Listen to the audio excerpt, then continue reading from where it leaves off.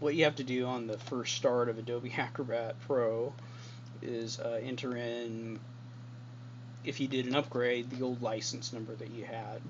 And uh, I did that, and you know I can see that it worked, but I'll just show y'all that it does. And file open. I don't know if I have any. Yeah, I do. have PDFs on the Drobo, tons of them. Let's get this old 3COM network card documentation. Da, da, da, there we are. There it is. Now if I want to... Now, why is it doing that? Oh! That's a pleasant surprise. Mm hmm there is a serious issue, and that serious issue, I will tell you right now, that serious issue, that serious issue that arose, that, that was problematic for Adobe was the fact that it couldn't phone home and send my license back to um, Adobe. And what happens is, is in my Windows 7 setup on my Pentium 4, which is an older computer, but I shouldn't have to buy a new computer just to run software that runs so beautifully both here and in Linux on my other desk, as you can see. You know, I'm not stuck. I'm not. I'm having to wait five seconds every time I open something for it to phone home and come back, and then let me do what I'm what I've already paid for. Um, let me just go over here, I think.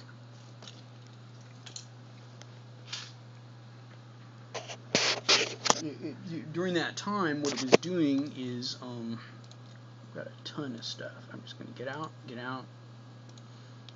I guess I'll go into Windows, and this is the uh, dual. This is the uh, serious time suck that dual boot uh, impact that dual ha- dual booting has on your on your on your day because we're workers that, that never ever ever pause at all. We never have to pick up papers. Our hands are always on the keyboard, and our uh, production is going to. We're going to go out of business if we have to do this. Ubuntu's a little slower than it was. Um, I got KDE in there. Uh, this is Ubuntu, but with Trinity's KDE installed, so I don't know why that Kubuntu thing shows up other than that's what it does after you put KDE in. And so I think right now I'm on 2 minutes and 30, uh, 2 minutes and 40 seconds of my camera time here. And so if, if you had to, to dual boot, say, to go look something up, or what have you or whatnot. And my computer usually never hangs this much. And but but because you're on camera, you get to see me pull the cord.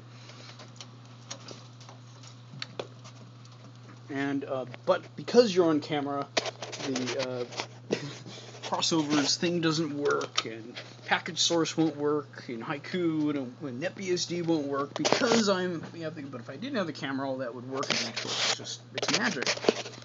Okay, so here comes my boot. Usually the hang it doesn't hang that long. I'm still only at three minutes, right? I didn't lose a day. I didn't lose an hour. You know, if you you have to go pick up a print job by the time you come back, well, here we are. You know, now we're at 340 in this recording.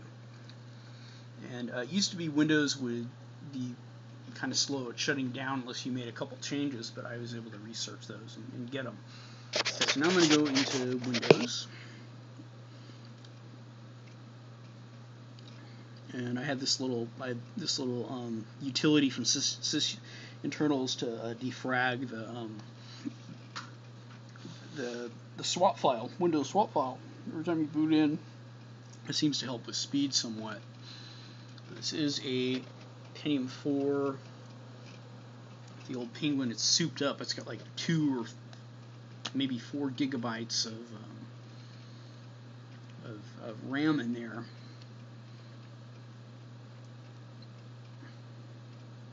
Okay, now we're going on four minutes.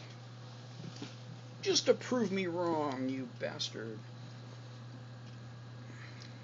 Go in here and I'll show you what happens when I open up the same and, and, and in fact if uh, the world doesn't end or I don't have to stop this video by the time I get to um, reboot, get to open it. Maybe I could reboot and go into Unix on the same machine and show you the time difference on this.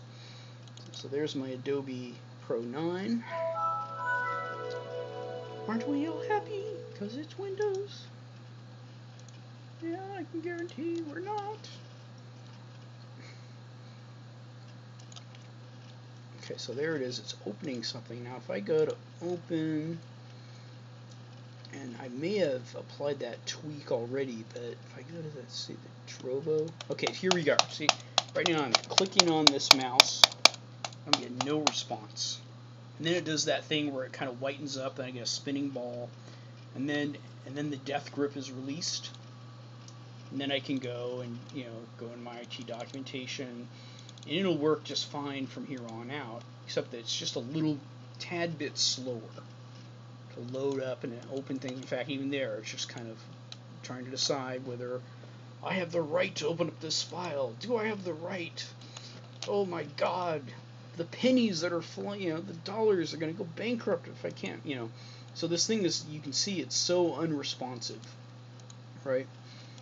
I mean, and if you're doing a lot of PDF editing and you're like me and you just like to click on the files and open them and edit them that way, not do file open every time you want to use a file or have to keep that other file that I just opened open or you didn't think of it, you're, you're going to have a hell of a time. You're just going to keep on having those those lockups, those delays.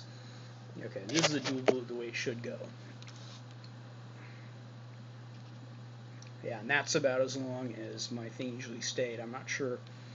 I gotta check and see what was going on with Ubuntu. There's always these little things you have to do in Ubuntu. Uh, oh, but I don't have it. I don't have. Yeah, because I'm moving from this desk, so I didn't. No, I don't have it set up. I don't have Adobe set up over on this one. But I will say there's not much difference between this new computer and the other one as far as timing is concerned. it is a very noticeable difference. Stop.